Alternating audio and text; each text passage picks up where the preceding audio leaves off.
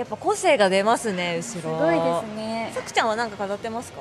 私何も飾ってない。ちょっとごめん。飾れるものがなくてなんか。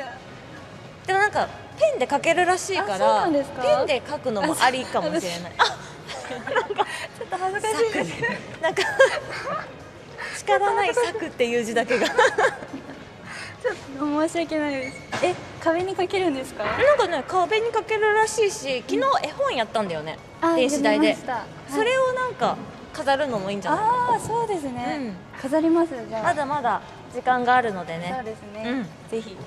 あじゃあ葉月にも聞いてみようかな。葉月